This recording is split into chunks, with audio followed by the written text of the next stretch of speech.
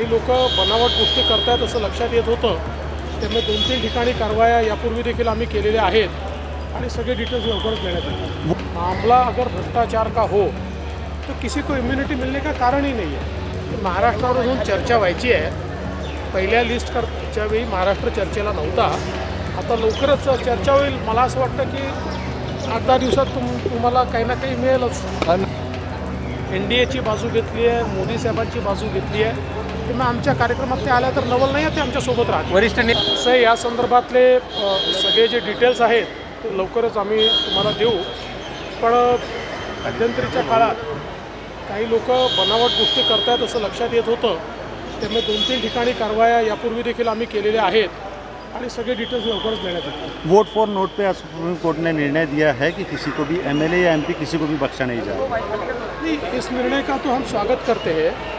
क्योंकि ये बिल्कुल सही बात है कि मामला अगर भ्रष्टाचार का हो तो किसी को इम्यूनिटी मिलने का कारण ही नहीं है। कोई एमएलए है एमपी है, जनप्रतिनिधि है फिर उसको भ्रष्टाचार का लाइसेंस तो नहीं दिया जा सकता। तो इसलिए जो 2000 उन्नीस में सुप्रीम कोर्ट ने एक फैसला दिया था, जिस फैसले के कारण एक प्रकार से इम्यूनिटी मिली थी, अपने फैसले को सुप्रीम कोर्ट ने बदला है और बहुत सही फैसला दिया है। उसका स्वागत करते देवेंद्र जी नाग चाललेलं आहे.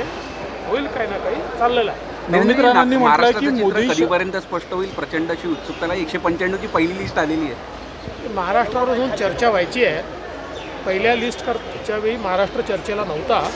आता लवकरच चर्चा होईल. मला असं वाटतं की आठ दहा दिवसात तुम तुम्हाला काही ना काही मिळेलच. नवनीत राणा यांनी म्हटलंय की अरे आता थांबून जा लवकरच सगळेच तुम्हाला जागा देवेंद्र भाऊ नवनीत राणांनी म्हटलं की मोदी शहा नड्डा जे सांगतील तीच माझी दिशा असेल. आज त्या भाजपच्या कार्यक्रमात देखील येतात. पुढे आमच्या आमच्या सहयोगी सदस्य आहेतच.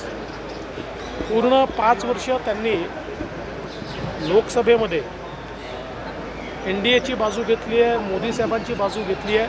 त्यामुळे आमच्या कार्यक्रमात ते आल्या तर नवल नाही आहे ते आमच्यासोबत राहतील.